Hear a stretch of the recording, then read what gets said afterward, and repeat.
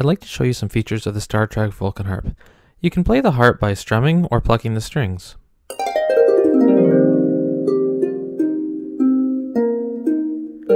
Most music apps let you tap to play, but the Vulcan harp uses a unique plucking motion, making it play more like a real harp and giving you more control over the notes you play. To add some more depth to your performance, add background chords by simply tapping the knob.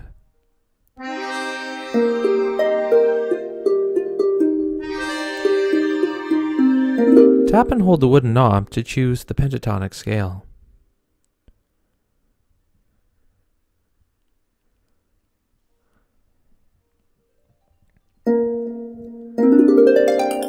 Dials can be used to control the feature of the instrument, such as an octave range,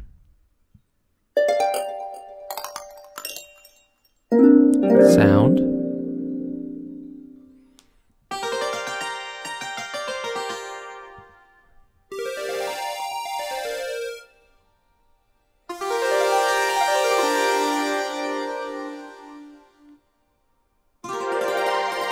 distortion,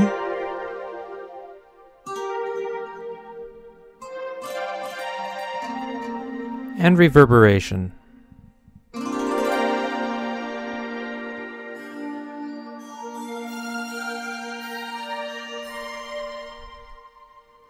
You can access the slide out menu in the bottom right corner by tapping on the arrow.